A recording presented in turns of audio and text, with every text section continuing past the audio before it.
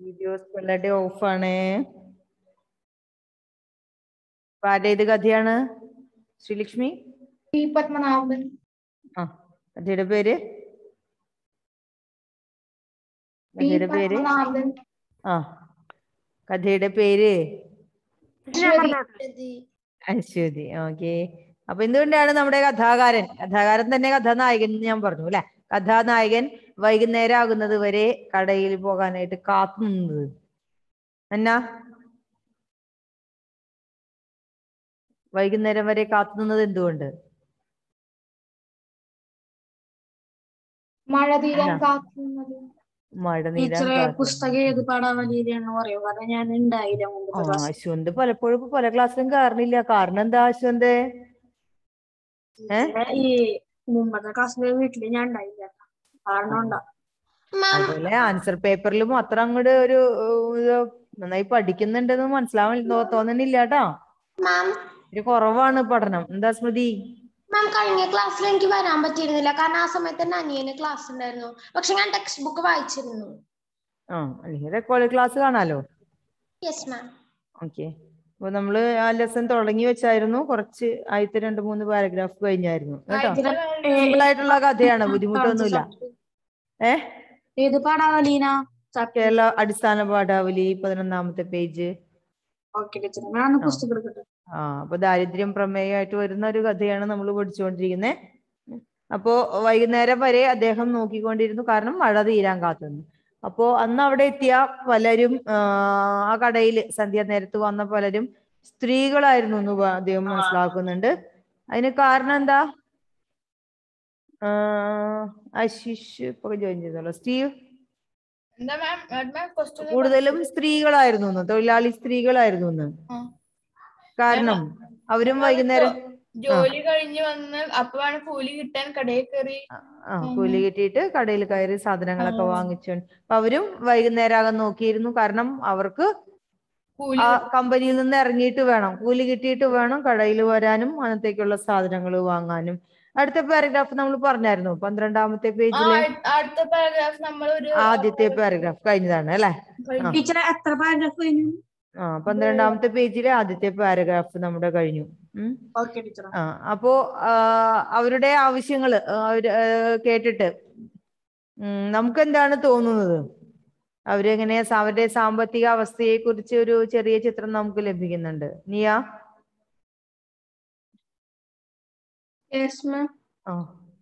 അവർ ഏത് തരത്തിലുള്ളവരാണ്?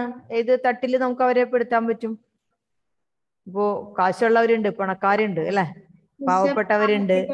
സാധാരണ ജനങ്ങൾ നമ്മൾ വിളിക്കും അല്ലെ? കുറച്ച് പേര് കോമൺ പീപ്പിൾ അപ്പൊ മേൽത്തട്ടുകാര് സമ്പന്നര് പിന്നെ സാധാരണ ജനങ്ങൾ കോമൺ പീപ്പിൾ പിന്നെ ഏറ്റവും താഴെ ദരിദ്രരായിട്ടുള്ളവര് പാവങ്ങൾ എന്നല്ലേ അപ്പൊ ഇവരിൽ മിക്കവാറും പേര് താഴെ തട്ടിലുള്ളവരാണ് നമുക്ക് മനസ്സിലാക്കാം. അതിൽ ഏതിൽ നിന്ന് നമുക്ക് മനസ്സിലാക്കാം? എങ്ങനെയാണത് വ്യക്തമാവുന്നത് അവരുടെ ആവശ്യങ്ങൾ എന്തായിരുന്നു? ആശിഷ്? അവരുടെ ആവശ്യങ്ങൾ.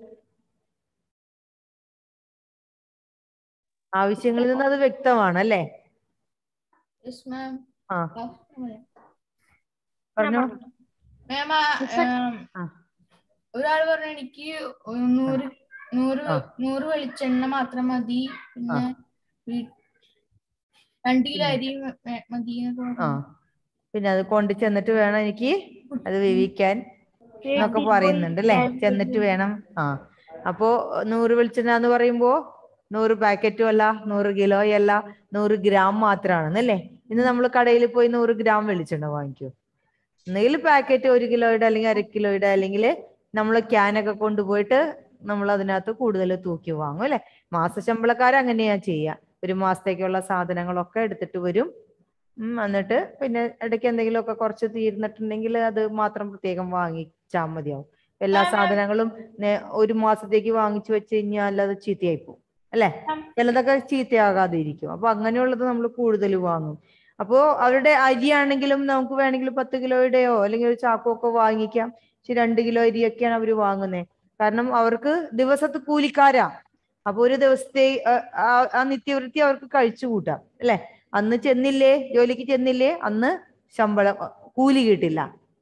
അപ്പൊ കൂടുതൽ വാങ്ങാനുള്ള ആസ്തി അവർക്കില്ല. അതുകൊണ്ട് അവരുടെ ആവശ്യങ്ങളും ചെറിയ ചെറിയ ആവശ്യങ്ങളായിരുന്നു. പക്ഷെ അത് അത്യാവശ്യങ്ങളായിരുന്നു. വെറും ആവശ്യങ്ങളല്ല അത്യാവശ്യങ്ങൾ അത് ചെന്നിട്ട് വേണം കറി ഉണ്ടാക്കാൻ ചോറ് വെക്കാനായിട്ട്. അപ്പൊ അവരുടെയൊക്കെ പരിദേവനങ്ങൾ കേട്ടപ്പോ ഇദ്ദേഹം വരാ വരാന്തയുടെ അറ്റത്തേക്ക് മാറി നിൽക്കുക. ഇദ്ദേഹം അത് അന്ന് കൊണ്ടു ചെന്നിട്ട് വേണ്ട അരി വെക്കാനായിട്ട്. പിന്നെ ഇതുപോലെ അതും കാത്തിരിക്കുന്ന കൊച്ചു കുട്ടികളും ഇല്ല. ആകെയുള്ള കുട്ടികൾ ഏതാ? ഞാൻ പറഞ്ഞില്ലേ അവിടെയുള്ള കുട്ടികൾ എന്താ? അന്ന് അദ്ദേഹത്തിന്റെ ഭാര്യയുണ്ട്. പിന്നെ പിന്നെയുള്ളത്? പൂച്ചകളാ. അല്ലെ?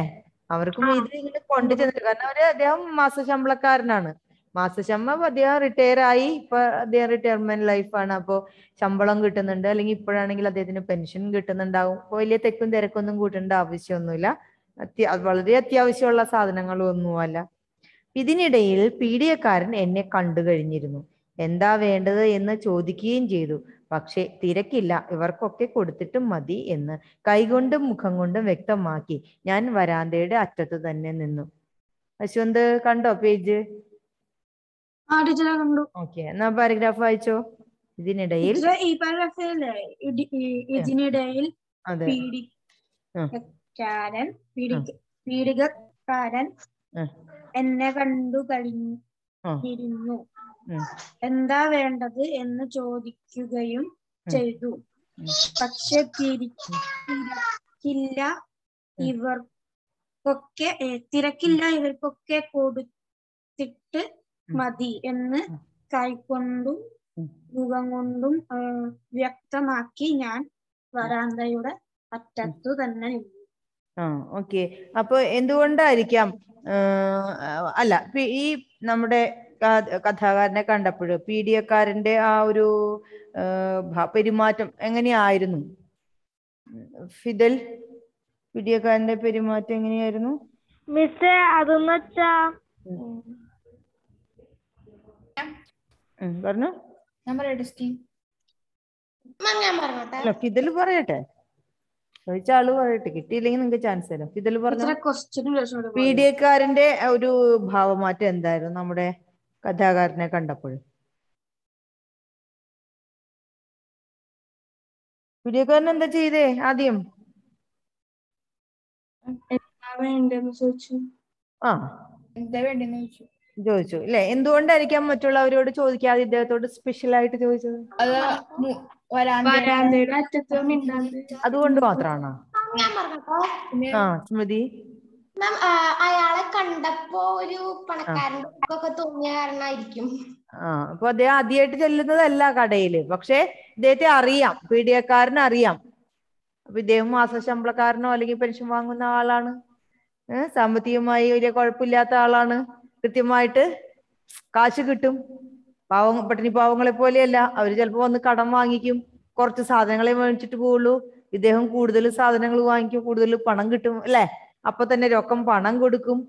പിന്നെ അത് കൂടാതെ എന്താ? ഇദ്ദേഹം അറിയപ്പെടുന്ന എഴുത്തുകാരനാണ് അല്ലെ? അപ്പോ സമൂഹത്തിൽ മാന്യമായ ഒരു സ്ഥാനം ഉള്ളതാണ് എല്ലാവർക്കും അറിയാം. അപ്പോ അദ്ദേഹത്തോട് കുറച്ച് കൂടുതൽ ബഹുമാനം വീഡിയോക്കാരൻ കാണിക്കുന്നുണ്ട്. ഇതൊക്കെ വന്നിട്ടുള്ള സാധാരണക്കാരാ തൊഴിലാളികളാ. അപ്പൊ ഇദ്ദേഹത്തോട് കുറച്ച് കൂടുതൽ ബഹുമാനം കാണിക്കുന്നുണ്ട്. അതുകൊണ്ടാണ് ഇദ്ദേഹത്തെ കണ്ട മാത്രയിൽ എന്താ വേണ്ടത് എന്ന് പ്രത്യേകം ചോദിച്ചു. അപ്പോ ഇദ്ദേഹത്തിന്റെ മറ്റെന്തായിരുന്നു ആ ഒരു എന്താ പദവിക്ക് ചേരുന്ന രീതിയിൽ അദ്ദേഹം പ്രതികരിക്കുകയല്ല ചെയ്തത്. മറിച്ച് രുദ്ര ഇദ്ദേഹത്തിന്റെ ഭാവം എന്തായിരുന്നു? ഇദ്ദേഹം എങ്ങനെയാണ് പ്രതികരിച്ചത്? രുദ്ര പറഞ്ഞു. രുദ്ര കുറെ നാളെത്തിയിട്ടാണ് ഇപ്പോ വീഡിയോ ഒക്കെ ഓൺ ആയിട്ടിരിക്കുന്നത് അല്ലേ. പറഞ്ഞോളൂ. എന്താ ക്വസ്റ്റ്യൻ ഇദ്ദേഹത്തോട് എന്താ വേണ്ടെന്ന് ചോദിച്ചപ്പോ നമ്മുടെ കഥാകാരൻ എന്താ പറഞ്ഞെന്ന്? ആദ്യം ആ. അപ്പോ അദ്ദേഹം പറയുന്നില്ലെങ്കിലും ആംഗ്യം കാണിക്കുകയാണ് തന്റെ തല കൊണ്ട് കൈ കൊണ്ടൊക്കെ മുഖം കൊണ്ടൊക്കെ വ്യക്തമാക്കി. ആംഗ്യം കാണിച്ചു എനിക്ക് തിരക്കൊന്നുമില്ല.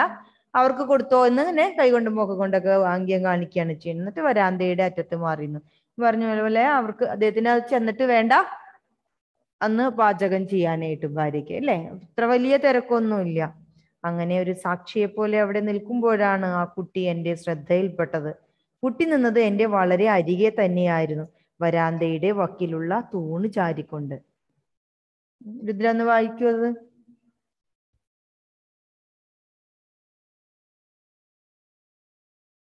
അങ്ങനെ ഒരു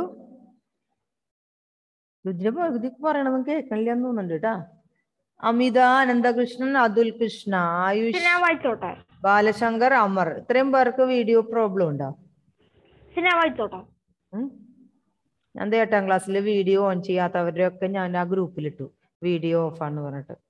സ്ഥിരമായിട്ട് വീഡിയോ ഓഫ് ചെയ്യുന്നവരുടെ പേരുകൾ ഞാൻ അതിനകത്ത് ഇട്ടു. പറഞ്ഞിട്ടും വ്യത്യാസമൊന്നും ഉണ്ടാവണില്ല. ഞാൻ പിന്നെ ഇന്ന് ഇടാതെ എനിക്ക് നിവൃത്തിയില്ല. അതുപോലെ ഇനി എബാച്ചി എന്നൊക്കെ ഇടേണ്ട വരികയാണെങ്കിൽ അത് വളരെ കഷ്ടമാണ്. ആ. എന്റെ വീഡിയോ ഒക്കെ ഇപ്പൊ ഇതായി ഓണക്കാണ് കാണാൻ പറ്റില്ല എന്നെ. ഓക്കെ ആയുഷിന്റെ അങ്ങനെ എന്തെങ്കിലും ട്രബിൾ ഉണ്ടെങ്കിൽ നിങ്ങൾക്ക് പറയാം. അനന്തകൃഷ്ണനോ ബാലശങ്കറോ അമറോ? ഏ? മാം മാം ആ. ബാലശങ്കർ എന്താ ഇഷ്യൂ സമയം some- മെമ്പറാ നെറ്റ്വർക്ക് ഇഷ്യൂ. അമറിനോ? അമർ അനന്തകൃഷ്ണൻ ഓക്കെ. അമർ അമറിന്റെ ഉത്തരം കിട്ടിയില്ല.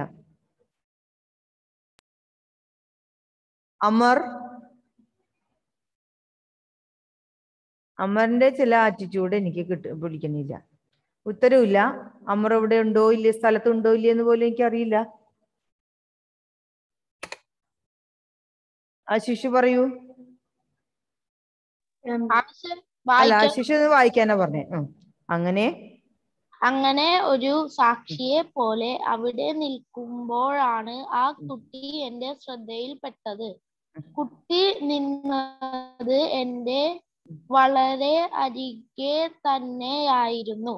വരാന്തയുടെ. വരാന്തയുടെ വക്കിലു വക്കിലുള്ള തൂണ് ചാരിക്കൊണ്ട്. ഓക്കെ മതി മതി.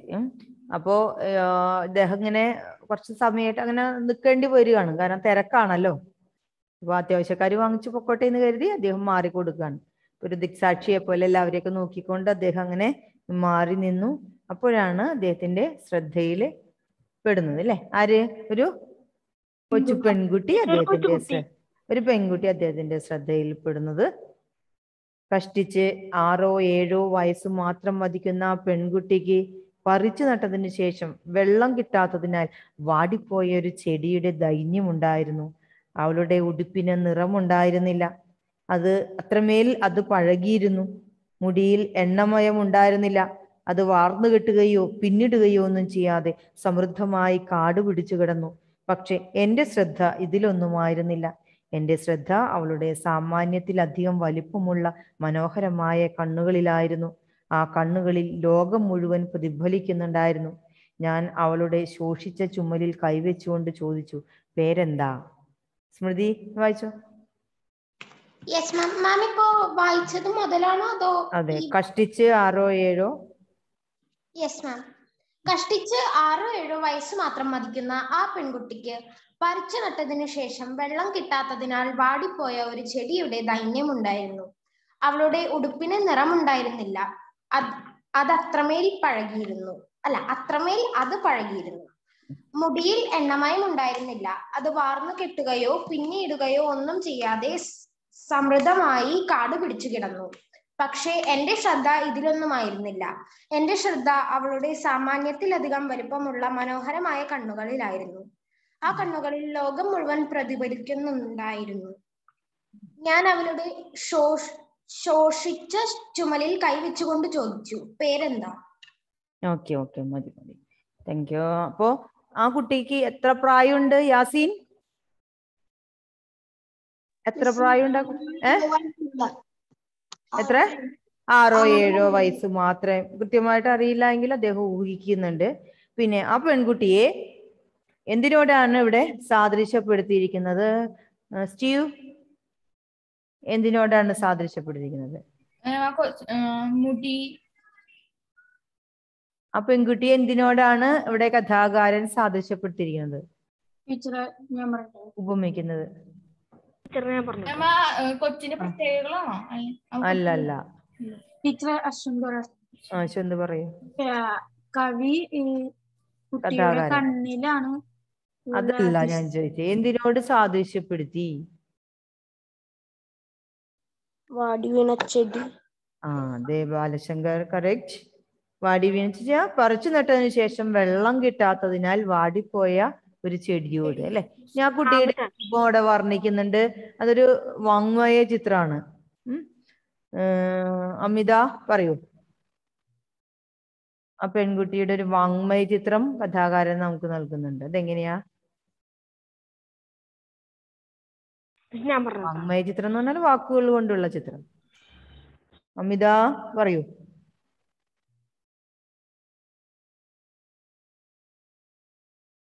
Hello fast.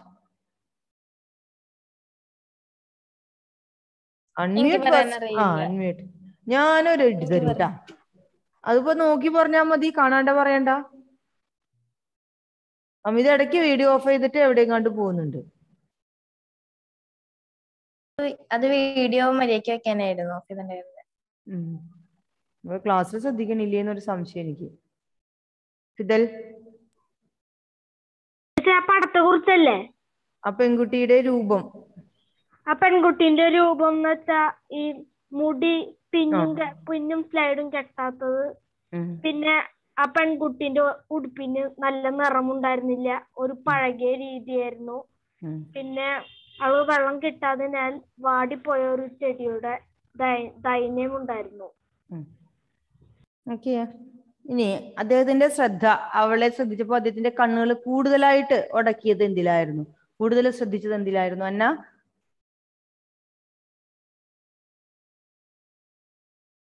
അവളുടെ കണ്ണ് അവളുടെ ഇദ്ദേഹത്തിന്റെ ശ്രദ്ധ കൂടുതൽ ആകർഷിച്ചത് മാം കണ്ണുകളിലായിരുന്നു. അവളുടെ എങ്ങനെയുള്ള കണ്ണുകൾ?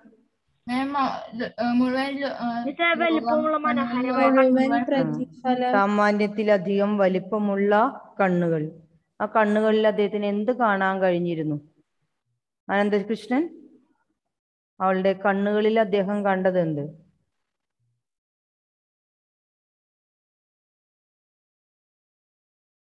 ഉം? ഞാൻ പറയാം. ഞാൻ പറയാം സ്റ്റീവ്. അനന്തകൃഷ്ണൻ ഓഡിയോ വർക്ക് ചെയ്യണില്ല സ്റ്റീവ് പറയൂ.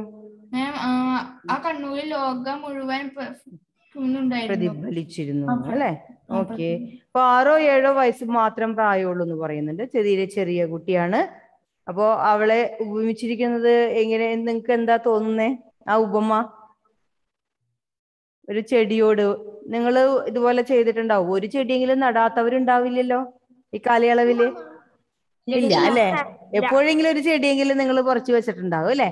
അപ്പോ എത്ര നന്നായിട്ട് ഇങ്ങനെ എന്താ നന്നായിട്ട് നിൽക്കുന്ന ചെടിയാണെങ്കിലും പച്ചപ്പോടെ നന്നായിട്ട് എന്താ ഉഷാറായിട്ട് നിൽക്കുന്ന ചെടിയാണെങ്കിലും നമ്മൾ പറിച്ചു വെച്ച് കഴിഞ്ഞു കഴിഞ്ഞാൽ നല്ല മഴയുള്ള ദിവസമൊക്കെ ആണെങ്കിൽ കുഴപ്പമില്ല. അല്ലെങ്കിലോ അതെങ്ങനെ ഇരിക്കും പൊതുവേ? വെള്ളം ഒഴിച്ചാൽ പോലും വാടിയിട്ടുണ്ടാവും അല്ലെ? വേരൊക്കെ പിടിക്കുന്നത് വരെ അത് ചെറുതായിട്ട് വാടി നിൽക്കും. പിന്നെ വെള്ളം ഒട്ടും ഒഴിക്കാത്ത ഒരു ചെടിയെ സംബന്ധിച്ചാണെങ്കിലോ നമ്മൾ പറയേ വേണ്ട നന്നായിട്ട് വാടി കിടക്കുന്നുണ്ടാവും. സ്ട്രെയിറ്റ് ആയിട്ട് നിന്ന ചെടി തല ഇങ്ങനെ താഴെ മുട്ടി കിടക്കുന്നുണ്ടാവും അതിന്റെ മേൽഭാഗം അല്ലെ? മേൽഭാഗം താഴെ മുട്ടി ആ വാടി തളർന്ന് ആ ഇലയൊക്കെ ചുക്കി ചുളിഞ്ഞ് ഇങ്ങനെ ഇരിക്കുന്നുണ്ടാവും. അപ്പോ ആ കുട്ടിയെ അങ്ങനെയുള്ള ഒരു ചെടിയോടാണ് പറിച്ചു നട്ടതിന് ശേഷം വെള്ളം കിട്ടാത്ത ഒരു ചെടിയോട് സാദൃശ്യപ്പെടുന്നത്. അപ്പൊ എന്തിന്റെ കുറവാണ് ആ കുട്ടിയിൽ ഉണ്ടാവുക? വെള്ളത്തിന്റെ കുറവാണോ? ആ കുട്ടിയിൽ എന്തിന്റെ കുറവായിരിക്കും? പൈസയുടെ കുറവാണ്. ആ അതായത് ശരിയായ രീതിയിൽ പരിചരണം പോഷകാംശം ഒക്കെ കിട്ടാത്തതിന്റെ നല്ല ഭക്ഷണം കിട്ടാത്തതിന്റെ കുറവ് ആ കുട്ടിയിൽ കാണാനായിട്ട് സാധിച്ചു. അതുകൂടാതെ വീട്ടുകാരുടെ ശ്രദ്ധയും ഇല്ല എന്ന് അതും വ്യക്തമാണ് അല്ലെ? അത് ഏതിൽ നിന്ന് വ്യക്തമാണ്? അവളുടെ ആ വസ്ത്രധാരണ രൂപമൊക്കെ കണ്ടു കഴിഞ്ഞാൽ അറിയാൻ പറ്റൂ അല്ലെ? ഇപ്പൊ അമ്മ അതിരാവിലെ ഈ കമ്പനിയിൽ തീപ്പെട്ടി കമ്പനിയിൽ ജോലിക്ക് പോകുന്നതായിരിക്കാം. ദിവസക്കൂലിക്കായിട്ട് പോകുന്നതാണ്. വൈകുന്നേരം വൈ ഒത്തിരി വൈകിയാണ് ആ അമ്മ വീട്ടിലും വരിക. അപ്പൊ അവളുടെ മുടി വാർന്നു കെട്ടാനായിട്ട് അമ്മയ്ക്ക് നേരം ഉണ്ടാവില്ല. സ്വയം കെട്ടാനായിട്ടുള്ള ഇത് കഴിവ് അവൾക്കും ഉണ്ടാവില്ല ഇല്ലേ? അപ്പൊ എണ്ണ എണ്ണമയം ഇല്ലാത്തതും അവളുടെ ദാരിദ്ര്യത്തിന്റെ പ്രതീകം തന്നെയാണ് അല്ലെ? ആ ദാരിദ്ര്യം അവരനുഭവിക്കുന്ന ദാരിദ്ര്യം കഷ്ടപ്പാട് അവളുടെ രൂപത്തിൽ നിന്ന് വ്യക്തമാണ്. അതുപോലെ നിറമില്ലാത്ത പഴകിയ ഉടുപ്പാണ് അവളെന്ന് ധരിച്ചിരുന്നത് അല്ലെ? ചിന്നി അതെ. അവളുടെ കണ്ണുകളിൽ പ്രതിഫലിച്ചിരുന്നത് ഈ ലോകം മുഴുവനാണ് അത് എന്തുകൊണ്ടായിരിക്കാം നമ്മുടെ കഥാകാരൻ അങ്ങനെ പറഞ്ഞത്? നിയ? ഈ ലോകം മുഴുവൻ അവളുടെ കണ്ണുകളിൽ പ്രതിഫലിച്ചിരുന്നു. വലിയ കണ്ണാണ്. പിന്നെ ഈ ലോകം മുഴുവൻ അവളുടെ കണ്ണിൽ റിഫ്ലക്ട് ചെയ്തിരുന്നു. പ്രതിബിംബിച്ചിരുന്നു. കാരണം നീ ആ ഉത്തരവുണ്ടാ ഇല്ല. മാം അത് ലോകത്തിലുള്ള ചിലവരൊക്കെ അങ്ങനെയൊക്കെ ഉള്ള- ആ, അങ്ങനെയായിരിക്കും. അപ്പൊ ആരുടെ പ്രതീകമാണ്? ആരുടെ സിമ്പലാണ് അവൾ? ഈ ലോകത്തുള്ള ദരിദ്ര ലക്ഷങ്ങളുടെ പ്രതീകമാണ് പാവങ്ങളുടെ അല്ലെ? പരിചരണം കിട്ടാത്ത പോഷക പോഷക എന്താ പറയാ നേരത്തെ ഭക്ഷണം കിട്ടാത്ത ശരിയായ രീതിയിൽ ഭക്ഷണം കിട്ടാത്ത നല്ല ആഹാരം കിട്ടാത്ത പരിചരണം കിട്ടാത്തതിന്റെ ഒക്കെ ദരിദ്രത്തിന്റെ പട്ടിണി കോലങ്ങളുടെ പ്രതീകമായിട്ട് ഈ കുട്ടി അവരുടെ മുമ്പിൽ നിൽക്കുകയാണ് അല്ലെ? അപ്പൊ അദ്ദേഹത്തിന് അവളുടെ കണ്ണുകളിലൂടെ വായിച്ചെടുക്കാൻ പറ്റിയത് അതായിരുന്നു എന്നുള്ളതാണ്. ഞാൻ മുൻപ് ചില ദൃശ്യങ്ങൾ പട്ടിണിയുടെ ദൃശ്യങ്ങൾ നിങ്ങളെ കാണിച്ചിരുന്നില്ലേ? പട്ടിണി പോലെ കോലങ്ങളുടെ ഇല്ലേ? അപ്പൊ ദരിദ്ര ലക്ഷങ്ങൾ ഒരുപാട് പേരുണ്ട്. ലോകമല്ല. അതിന് മറ്റൊരു വശമുണ്ട്. ഒരു മറുവശം കൂടിയുണ്ട്. നാണയത്തിന് രണ്ടു വശങ്ങളുള്ളത് പോലെ. ഈ ദാരിദ്ര്യത്തിന്റെയും പട്ടിണിയുടെയും കഷ്ടതയുടെയും ഒക്കെ മറുപുറം കൂടിയുണ്ട്. അതിന്റെ പ്രതീകമായിട്ട് ഈ പെൺകുട്ടി ഇദ്ദേഹത്തിന്റെ മുമ്പിൽ നിൽക്കുക. അതാണ് അവളുടെ ആ വലിയ കണ്ണുകളിൽ പ്രതിഫലിച്ചിരുന്നത്. ഞാൻ അവളുടെ ശോഷിച്ച ചുമലിൽ കൈവച്ചുകൊണ്ട് ചോദിച്ചു പേരെന്താ? ചുമൽ ചുമൽ എന്താ അർത്ഥം? ചുമൽ ഷോൾഡർ ചുമൽ ഷോൾഡർ. പുറകിൽ ഷോൾഡറിൽ കൈവച്ചുകൊണ്ട് അദ്ദേഹം അവളുടെ പേര് ചോദിക്കുന്നുണ്ട്. ചുമൽ അല്ല ചുമൽ ചുമൽ നമുക്ക് അറിയാം. ശോഷിച്ച എന്താണ് അർത്ഥം? ശോഷിച്ച? ശോഷിച്ച? അർത്ഥം? മെലിഞ്ഞ. അല്ലേ? മെലിഞ്ഞ. എന്നർത്ഥം. ശോഷിച്ച മെലിഞ്ഞ. അവളുടെ മെലിഞ്ഞ ആ അതായത് എല്ലൊക്കെ പൊന്തി നിൽക്കുന്നുണ്ടാവും ശോഷിച്ച ചുമലിൽ കൈവച്ചുകൊണ്ട് അവളുടെ പേര് ചോദിക്കുക. അപ്പൊ ഇങ്ങനെ അവളെ ചോ ഇവളുടെ ചുമലിൽ കൈവച്ചുകൊണ്ട് ചോദിക്കുന്ന എന്തിനാ? അല്ലാതെ ചോദിച്ചൂടെ പേര്? എന്തുകൊണ്ടാണ് അവളെ സ്പർശിച്ചുകൊണ്ട് അദ്ദേഹം ചോദിക്കുന്നത്? സ്പർശനത്തിന് എന്തെങ്കിലും പ്രത്യേകതയുണ്ടോ? ഏ? എന്തുകൊണ്ടാണ് അവളുടെ ചുമലിൽ കൈവച്ചുകൊണ്ട് അദ്ദേഹം ചോദിച്ചത്? അല്ലാതെ എന്താ പേരെന്താ ചോദിച്ചൂടെ? സ്നേഹത്തോടെ വെച്ചിരിക്കും സ്നേഹത്തോടെ. സ്നേഹത്തിന്റെ ഒരു പ്രകടനം കൂടിയാണ് അല്ലേ. ബർത്ത്ഡേയാ ഇന്ന് നിങ്ങളുടെ ബർത്ത്ഡേയാ നിങ്ങളുടെ അച്ഛനും അമ്മയൊക്കെ നിങ്ങളുടെ അടുത്ത് വന്നിട്ട് ഹാപ്പി ബർത്ത്ഡേ ഡിയർ സ്മൃതി എന്നോ സ്റ്റീവ് എന്നൊക്കെ പറഞ്ഞു കഴിഞ്ഞാൽ അതാണോ നിങ്ങൾക്ക് ഇഷ്ടാവുക? നിങ്ങളെ കെട്ടിപ്പിടിച്ചുകൊണ്ട് ഒരു ഉമ്മയൊക്കെ തന്നിട്ട് ഏഹ് പിറന്നാൾ ആശംസകൾ നേരുകയാണെങ്കിൽ ആശംസ നേരണ്ട ഒന്ന് കെട്ടിപ്പിടിച്ചാ മതി. നമ്മുടെ മനസ്സെന്ന് അറിയൂ അല്ലേ? സന്തോഷാവില്ലേ?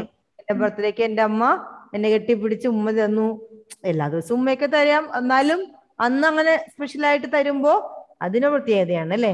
അതുപോലെ തന്നെ അമ്മ അമ്മയ്ക്ക് രാവിലെ എണീക്കുമ്പോ കെട്ടിപ്പിടിച്ച് അമ്മയ്ക്ക് ഒരു ഉമ്മ കൊടുത്താലോ ഗുഡ് മോർണിംഗ് കൊടുത്താലോ. അപ്പൊ അമ്മ ഇന്നെന്താ പ്രത്യേകത എന്ന് ചോദിക്കും വേണമെങ്കിൽ അല്ലേ? ഏഹ് അപ്പോ സ്പർശനത്തിന് അതിന് ഒരു പ്രത്യേകതയാണ്. കുറെ കൂടി നമുക്ക് അടുപ്പം ഒരു കരുതൽ ഒരു പ്രൊട്ടക്ഷൻ നമുക്ക് തോന്നും അല്ലേ? ഏഹ് ഇപ്പോ അവരോടുള്ള ആ സ്നേഹത്തിന്റെ ആ ആ ഒരു ആധിക്യം അത് അളക്കാനായിട്ട് നമുക്ക് ആ സ്പർശനത്തിലൂടെ നമുക്ക് സാധിക്കുന്നുള്ളതാണ് അപ്പൊ അവളോട് സഹതാപം അല്ലെങ്കിൽ സ്നേഹം ക- കാരുണ്യം തോന്നുന്നുണ്ടാവും. അതുകൊണ്ടാണ് വെറുതെ പേര് ചോദിക്കാതെ അങ്ങനെ ഒറ്റയ്ക്ക് ഇങ്ങനെ നിൽക്കുന്ന വിഷമിച്ച് നിൽക്കുന്ന അവളെ കണ്ടു കഴിഞ്ഞപ്പോ അവളുടെ ചുമലിൽ കൈവച്ചുകൊണ്ട് അദ്ദേഹം ചോദിക്കുന്നത്. അപ്പൊ പേരാണ് ആദ്യം ചോദിക്കുന്നത്. നമ്മളെപ്പോഴും അങ്ങനെ തന്നെയാണ് അല്ലെ? പേരാണ് ആദ്യം ചോദിക്കുക. കുട്ടി എന്റെ നേരെ സംശയത്തോടെ നോക്കിയതല്ലാതെ ഒന്നും പറഞ്ഞില്ല. ഞാൻ വീണ്ടും ചോദിച്ചപ്പോൾ അവൾ മടിച്ചുകൊണ്ട് പറഞ്ഞു അശ്വതി അപ്പൊ എന്തുകൊണ്ടായിരിക്കാം അവൾ ആദ്യം പേര് പറയാനായിട്ട് മടിച്ചത്? അമിത? കാരണം അമിത അതിന് ഉത്തരം പറയാലോ? എന്തുകൊണ്ടായിരിക്കാം? ഈ സ്ട്രേഞ്ചർ ആയതിന്റെ കാരണമായിരിക്കും ആയിരിക്കും അല്ലെ? അതിന് പകരം ഒരു മലയാള വാക്ക് ഉപയോഗിക്കാൻ പറ്റുമോ. അപരിചിതനായ ആളാണ് അല്ലെ? തനിക്ക് അപരിചിതനാണ്. അവൾ മുൻപ് അദ്ദേഹത്തെ കണ്ടിട്ടില്ല. കണ്ടിട്ടില്ല ശ്രദ്ധിച്ചിട്ടുണ്ടാവില്ല. ചെറിയ കുട്ടിയല്ലേ? അപ്പോ അപരിചിതര് ചോദിക്കുമ്പോ അതിനൊക്കെ ഉത്തരം പറയണം എന്ന് നിർബന്ധമൊന്നുമില്ല പിന്നെ നമ്മളോടും വീട്ടുകാർ പറയുന്നുണ്ടാവും കാണുന്നവരോടൊക്കെ മിണ്ടാനൊന്നും നിൽക്കണ്ട പക്ഷെ ചോദ്യം പേര് ചോദിച്ചിട്ട് അതിന് ഉത്തരം പറഞ്ഞതെന്ന് വെച്ച് വലിയ കുഴപ്പമൊന്നുമില്ല. പക്ഷെ അപരിചിതരെല്ലാവരും ഒരുപോലെ ആവണമെന്നില്ല എന്തുദ്ദേശത്തോടെയാണ് ചോദിക്കുന്നത് നമുക്കറിയില്ല അല്ലെ? ഇന്നത്തെ കാലത്തൊക്കെ പ്രത്യേകിച്ച് നമുക്ക് എന്താ വിശ്വസിക്കാൻ പറ്റില്ല എന്നുള്ളതാണ്. അപ്പൊ അച്ഛനും അമ്മയൊക്കെ വേണമെങ്കിൽ പറഞ്ഞിട്ടുണ്ടാകണം. ആരോടും അധികം മിണ്ടാനൊന്നും നിൽക്കണ്ട കാര്യം ചെയ്തിട്ട് വാ വാങ്ങിച്ചിട്ട് വായോ എന്നൊക്കെ നിങ്ങളോടും പറഞ്ഞിട്ടുണ്ടാകണം. ഒരാൾ പേര് ചോദിച്ചിട്ട് പറയുന്നതിൽ വലിയ തെറ്റൊന്നുമില്ല. പക്ഷേ ലോകം എന്താണ് എങ്ങനെയാണ് എന്ന് നമ്മൾ അതിനെക്കുറിച്ച് ഒരു ധാരണ നമുക്ക് ഉണ്ടായിരിക്കുന്നത് എപ്പോഴും നല്ലതാണ് അല്ലേ? പ്രത്യേകിച്ചൊക്കെ ഇപ്പോ ഇന്ന് കൂടുതൽ ചതിക്കുഴികൾ നമ്മളെ കാത്തിരിക്കുന്നുണ്ട് അല്ലെ? W W W. അതിനകത്താണ് ഈ ലോകം അല്ലെ? അതിനെന്താ വിളിക്കുക ഡബ്ല്യു ഡബ്ല്യു ഡബ്ല്യു മൂന്ന് ഡബ്ല്യു ചേർത്ത് എന്തിന്റെ ഫുൾ ഫോം ആണത്? വേൾഡ് വൈഡ് വെബ് അല്ലേ? എട്ടുകാലി വല നെയ്യുന്നത് പോലെ വലകൾ നെയ്ത് കാത്തിരിക്കുന്നുണ്ട് നമ്മുടെ ചതിക്കുഴിയിൽ വീഴ്ത്താനായിട്ട് ഒരു കുറെ ആളുകൾ നമുക്ക് ചുറ്റും ചതിക്കുഴികളും ഉണ്ട്. ഏതൊക്കെ രീതിയിലാണ് നമ്മളെ ആ കുഴിയിൽ പെടുത്തുക നമുക്ക് പറയാൻ പറ്റില്ല. ഫേസ്ബുക്കോ വാട്സാപ്പോ ചാറ്റിങ് ചീറ്റിങ് ഒക്കെ പല ഏത് തന്ത്രം വേണമെങ്കിലും അല്ലേ? ലഹരി എല്ലാം ഉണ്ട്. അപ്പോ ഇപ്പൊ നിങ്ങൾ വീട്ടിലാണെങ്കിൽ പോലും നിങ്ങൾ സേഫ് അല്ല. അല്ലേ? മൊബൈൽ ഉപയോഗിക്കുമ്പോൾ ലാപ്ടോപ്പ് ഉപയോഗിക്കുമ്പോഴൊക്കെ ചതിക്കുഴിയിൽ വീഴാനായിട്ട് എളുപ്പമാണ് അപ്പോ എല്ലാത്തിനെ കുറിച്ച് ഒരു അറിവ് ഉണ്ടാവുന്നത് എപ്പോഴും നല്ലതാണ് അപ്പോ ഇതിപ്പോ ചെറിയ കുട്ടിയായതുകൊണ്ട് അവൾക്ക് പരിചയമില്ല. അതുകൊണ്ട് ചിലപ്പോൾ അവൾ പറഞ്ഞില്ല. അത്രയേ ഉള്ളൂ. അപ്പോഴും അവളുടെ മുഖത്ത് സംശയം ഉണ്ടായിരുന്നു. ഞാൻ സന്തോഷത്തോടെ പറഞ്ഞു. നല്ല പേര്. അപ്പോഴും കുട്ടി ഒന്നും പറഞ്ഞില്ല. ഒന്ന് പുഞ്ചിരിക്ക പോലും ചെയ്തില്ല. അപ്പോ അവൾ ഇതുപോലെ സംശയിച്ചു തന്നെയാണ്. എന്നാലും പേര് പറയുന്നുണ്ട്. ഇനി അവളെ ഒന്നുകൂടി സന്തോഷിപ്പിക്കാൻ വേണ്ടി ആകണം. അദ്ദേഹം നല്ല പേരെന്ന് പറയണത് അല്ലേ? അവളുടെ ആ സങ്കടമൊക്കെ ഒന്ന് മാറട്ടെ മൊക്കൊന്ന് തെളിയട്ടെ എന്ന് കരുതിയിട്ട് അദ്ദേഹം പറഞ്ഞു. എന്നാലും അതുകൊണ്ട് അവൾക്ക് വലിയ സന്തോഷമൊന്നും ഉണ്ടായില്ല. വളരെ അളന്നു കുറിച്ച് വാക്കുകൾ പ്രയോഗിക്കുന്ന എഴുത്തുകാരനാ ഇദ്ദേഹം. നമ്മുടെ ടി പത്മനാഭൻ. അപ്പോ അപ്പോഴും കുട്ടി ഒന്നും പറഞ്ഞില്ല. ഒന്ന് പുഞ്ചിരിക്ക പോലും ചെയ്തില്ല. അതിന്റെ അർത്ഥം എന്താവാം? എന്തായിരിക്കും കഥാകാരൻ അതിലൂടെ? ഏ? അവൾക്ക് അതുകൊണ്ട് എന്താണ് മെച്ചം അല്ലേ? ഏ ഏതോ ഒരു അപരിചിതൻ എന്റെ വീഡിയോ സ്റ്റക്ക് ആവുന്നുണ്ട് ഇവിടെ ഈ ബോർഡിന് എപ്പോഴും പ്രോബ്ലം ആണേ. അതുകൊണ്ടാ. എന്താ ഇവൾക്ക് അയാൾ അപരിചിതനാണ്. അയാളോട് പേര് പറഞ്ഞിട്ട് ഊര് പറഞ്ഞിട്ടൊന്നും തനിക്കൊന്നും തന്റെ ജീവിതത്തിലൊന്നും മാറ്റമൊന്നും വരാനില്ല അല്ലെ? അപ്പൊ അതൊന്നും ആലോചിച്ചിട്ടൊന്നും അല്ല എന്തായാലും അവൾക്ക് അത് പറയാനായിട്ട് അപ്പോ തോന്നുന്നില്ല. അത്രയും അടുപ്പവും ഇല്ല. പറഞ്ഞുകൊണ്ട് പ്രത്യേകിച്ച് ഇദ്ദേഹം ഇങ്ങനെ തന്റെ പേര് നല്ലതാന്ന് പറഞ്ഞുകൊണ്ട് പിന്നെ അത് പറയാനുള്ള സാഹചര്യത്തിലായിരിക്കില്ല. ആയിരിക്കില്ല. തീർച്ചയായിട്ടും അവരുടെ അപ്പോഴത്തെ മാനസികാവസ്ഥ എന്തും അതും വ്യത്യസ്തമായിരിക്കാം. ഇപ്പൊ എന്തായാലും ഇദ്ദേഹം ഇങ്ങനെയൊക്കെ പറയണ്ടെങ്കിലൊക്കെ അവളെ അതൊന്നും മേച്ചുന്നേയില്ല ഒന്ന് പുഞ്ചിരിക്കാൻ പോലും പുഞ്ചിരിക്കുക പോലും അവൾ ചെയ്തില്ല എന്നാ പറയുന്നേ. വരാന്തയുടെ വക്കിലുള്ള മേശയുടെ മുകളിൽ ധാരാളം ഭരണികളുണ്ടായിരുന്നു. കുപ്പിയുടെയും പ്ലാസ്റ്റിക്കിന്റെയും അവയിലൊക്കെ പല മാതിരി മിഠായികളും ചെറിയ ചെറിയ കേക്കുകളും ബിസ്ക്കറ്റുകളുമായിരുന്നു. മിഠായികൾ മനോഹരമായ വർണക്കടലാസുകളിൽ പൊതിഞ്ഞിട്ടായിരുന്നു. ഒരു പലചരക്ക് കടയാണെങ്കിലും അത്യാവശ്യ സാധനങ്ങളൊക്കെ അവിടെ കിട്ടും അല്ലേ? പ്രത്യേകിച്ച് കുട്ടികളെ പറ്റിക്കാനായിട്ട് മിഠായിയും പിന്നെ ബിസ്ക്കറ്റും അങ്ങനെയൊക്കെ ഉള്ളതുണ്ട്. അങ്ങനെയൊക്കെ ഉള്ള സാധാരണ എന്തിലാണ് സൂക്ഷിക്കുക കടക്കാര്? ഭരണിയിൽ അല്ലെ ചില്ലലമാരിൽ അല്ലെങ്കിൽ ചില്ലു ഭരണികളിലൊക്കെയാണ് സൂക്ഷിക്കുക പ്ലാസ്റ്റിക് പാത്രങ്ങളിലുണ്ട് പക്ഷെ അത് ട്രാൻസ്പാരന്റ് ആയിരിക്കും. അപ്പൊ അതിന്റെ ഉള്ളിൽ കിടക്കുന്നത് എന്താണെന്ന് പുറത്ത് നിൽക്കുന്നവർക്ക് അറിയാനായിട്ട് പറ്റും അല്ലെ? അപ്പൊ അവരുടെ ശ്രദ്ധ ആകർഷിക്കത്തക്ക രീതിയിൽ അവർ ഭംഗിയായിട്ട് അത് അറേഞ്ച് ചെയ്തിട്ടുണ്ടാവും. അവിടെയും അങ്ങനെ ഉണ്ടായിരുന്നു. മിഠായികളൊക്കെ ആണെങ്കിൽ നല്ല നിറമുള്ള കടലാസുകളിൽ പൊതിഞ്ഞും ഇട്ടിരുന്നു. അപ്പോ അതും ആ കടയിൽ കാണാനായിട്ട് സാധിച്ചു. നമുക്ക് തൽക്കാലം അവിടെ നിർത്താം. ഉം. അറ്റൻഡൻസ് നോക്കണം അവളെ കൊണ്ട് വായിപ്പിക്കണം. അറ്റൻഡൻസ് എടുത്തിട്ട് വായിക്കാം അല്ലേ? ബാക്കി സമയം ഈ വർഷത്തെ അല്ല സോറി ഈ മാസത്തെ ലാസ്റ്റ് വർക്കിംഗ് ഡേ മുപ്പതാം തീയതി അല്ലേ? അമർ അമർ പോയാ? അമർ ഇവിടെ ഉണ്ടല്ലേ? ജീവനോടെ ഉണ്ടാ? അമ്മേയ? അമ്മേയ? നീയല്ലേ ആൻസർ പറഞ്ഞ? അവനൊരു വാക്ക് പോലും പറഞ്ഞില്ല. അപ്പൊ അമറിനെ അബ്സെന്റ് ഇടാൻ നിന്നു. ഒരു റെസ്പോൺസ് ഇതുപോലും ഇല്ല. ഓഡിയോ പോലും ഇല്ല. അപ്പൊ പിന്നെ നമുക്ക് അതിൽ അതുല അതുൽ എന്തെടുക്ക? അതുലൂടെ ഉണ്ട് അതിൽ എന്തെങ്കിലും നെറ്റ് ഇഷ്യൂ ഉണ്ടാ? എന്തെങ്കിലും ഉണ്ടാവാറുണ്ട് പക്ഷെ അമ്മ അമ്മയെ ആബ്സെന്റ് അല്ലേ? അമിത പ്രസന്റ് അനന്തകൃഷ്ണൻ പ്രസന്റ് അന്ന ആന്റണിയോ ആന്റണി ആബ്സെന്റ് ആശിഷ് പ്രസന്റ് അസ്ന. അസ്ന ഇടയ്ക്ക് വന്നിരുന്നു? ഇല്ല. പക്ഷെ അസ്ന ഇടയ്ക്ക് വന്നുണ്ടായി പക്ഷെ ഇപ്പൊ ഇപ്പൊ ഇല്ല. ഇല്ല. അശ്വന്ത് പ്രസന്റ് അതുൽ. ഞാൻ ഇന്നുകൂടി ഇടുന്നുണ്ട് അശ്വന്തിനും സോറി അതുലിനും അമറിനും. അമർ അടുത്ത ക്ലാസ്സിൽ ഇതുപോലെയാണ്. ഓഡിയോ ഇല്ല വീഡിയോ ഇല്ലെങ്കിൽ നിന്നെ ഈ പ്രസന്റ് ആണെങ്കിലും ഞാൻ ആബ്സെന്റ് ഇടുള്ളൂ ഗ്രൂപ്പിൽ ഉണ്ടാവുകയും ചെയ്യും. കേട്ടോ? ഇത് ലാസ്റ്റ് ഡേ ആണെന്ന് ഓർത്തോളൂ അമ്മ ആയുഷ് പ്രസന്റ് അല്ലേ? ആയുഷ് പ്രസന്റ് ബാലശങ്കർ പ്രസന്റ് ആയിരുന്നു Fidel Francis absent Gauri absent Fidel present okay okay Fidel present ആണ്. Yaseen present Niya present Smriti present sir Sreeru Steve okay. ആ അപ്പൊ വായിച്ചോ. ആരൊക്കെയാ വായിക്കുന്നേ. അമിത ഇത് വായിക്കാൻ പറ്റും? അല്ല അന അമിത വായിച്ചോ? ഇന്നടുത്ത ഭാഗം. മൂന്ന് മിനിറ്റ് ഉള്ളൂ വേഗം വായിച്ചു തരും. ഇതിനിടയിൽ പിടി പിടിക്കാരൻ എന്നെ കണ്ടു കഴിഞ്ഞിരുന്നു. എന്താ വേണ്ടേ എന്ന് ചോദിക്കുകയും ചെയ്തു. പക്ഷെ തിരക്കില്ല. തിരക്കില്ല. തിരക്കില്ല. ഇവർക്കൊക്കെ ഇവർക്കൊക്കെ കൊടുത്തിട്ട് മതി. എന്ന് കൈ കൈകൊണ്ടും മുഖം കൊണ്ടും വ്യക്തമായി ഞാൻ വ്യക്തമാക്കി. വരാന്തയുടെ അറ്റത്തു തന്നെ നിന്നു. അങ്ങനെ ഒരു സാക്ഷിയെ പോലെ അവിടെ നിൽക്കുമ്പോഴാണ് ആ കുട്ടി എന്റെ ശ്രദ്ധയിൽപ്പെട്ടത്. ആ ആ, മതി മതി മതി. അടുത്ത ആൾ അനന്തകൃഷ്ണൻ വായിച്ചേ?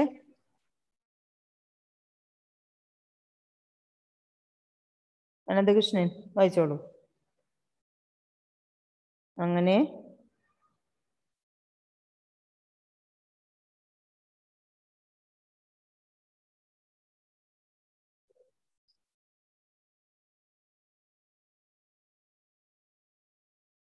ഹലോ അനന്തകൃഷ്ണൻ?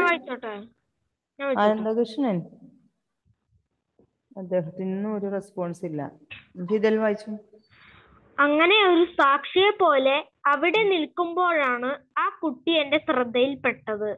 കുട്ടി നിന്നത് എന്റെ വളരെ അരികത്തെന്നതായിരുന്നു.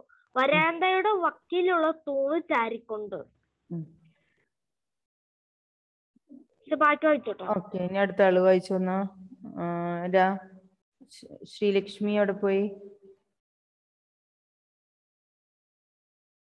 കഷ്ടിച്ച് ആറോ ഏഴോ വയസ്സ് മാത്രം മതിക്കുന്ന ആ പെൺകുട്ടിക്ക് പറിച്ചു നട്ടതിനു ശേഷം വെള്ളം കിട്ടാത്തതിനാൽ വാടിപ്പോയ ഒരു ചെടിയെ ദൈന്യമുണ്ടായിരുന്നു ചെടിയുടെ ദൈന്യം ഉണ്ടായിരുന്നു ചെടിയുടെ ദൈനമുണ്ടായിരുന്നു.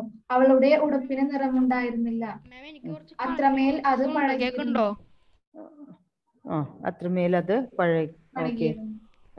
മുടിയിൽ എണ്ണ ഉണ്ടായിരുന്നില്ല. അത് വാർത്തിടുകയോ പിന്നീട്. ഒന്നും ചെയ്യാതെ സമൃദ്ധമായി കാടുപിടിച്ച് കിടന്നു. ഓക്കെ മതി മതി മതി കൂട്ടാ. ശ്രീലക്ഷ്മി അശ്വന്ത് ബാക്കി? ആന്റണി ഒരു മിനിറ്റ് ഒരു മിനിറ്റ്. ആന്റണി നീ ഇപ്പൊ എന്തിനാ കേറിയത്? ഇപ്പൊ ട്വൽവ് തേർട്ടി ആന്റണി എന്തിനാ ഇപ്പൊ ജോയിൻ ചെയ്തേ? ഏ? ഞാൻ ഓൾറെഡി അബ്സെന്റ് ഇട്ടിട്ടുണ്ട് ഇവിടെ ആന്റണിക്ക്. ഒരു മിനിറ്റ് മുമ്പ് നീ എന്തിനാ കേറിയത്? ഇത്ര നേരം നീ എവിടെയായിരുന്നു? ആന്റണി? ഹലോ? ലാസ്റ്റ് മൊമെന്റിൽ കയറുന്നവർക്കൊന്നും അറ്റൻഡൻസ് ഇല്ല. വായിച്ചോളൂ. അശ്വന്തനോടല്ലേ പറഞ്ഞേ? ബാക്കി. ടീച്ചറെ എവിടെ നിന്നാണ് ഞാൻ പോയി വെച്ച് വായിച്ചത്? ഇനിയിപ്പോ എന്തായാലും നമ്മുടെ സമയമായി നിർത്തിയാലോ? അടുത്ത ക്ലാസ്സിൽ നമുക്ക് തീർക്കാൻ പറ്റും. Okay? Bye bye. Thank you. Thank you ma'am. Thank you ma'am.